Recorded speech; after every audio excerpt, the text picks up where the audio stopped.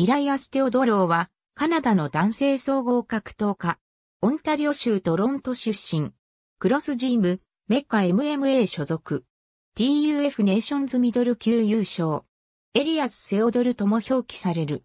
ハンバーカレッジ在学中にブラジリアン柔術とムエタイを始め、2011年に総合格闘技デビュー。2014年、リアリティ番組、ザ・アルティメット・ファイターのネーションズに参加。パトリック・コーテ率いるチームカナダに所属。ミドル級トーナメント1回戦でゼイン・サリバと対戦し、2から0の判定勝ち。準決勝でタイラー・マナワロアと対戦し、2から0の判定勝ちを収め決勝進出を果たした。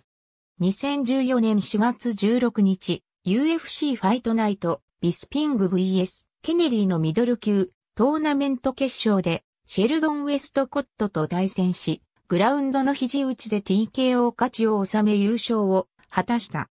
2019年5月4日、UFC ファイトナイト、ヤークインタ VS カウボーイでミドル級ランキング9位のデレク・ブランソンと対戦し、判定負け。ありがとうございます。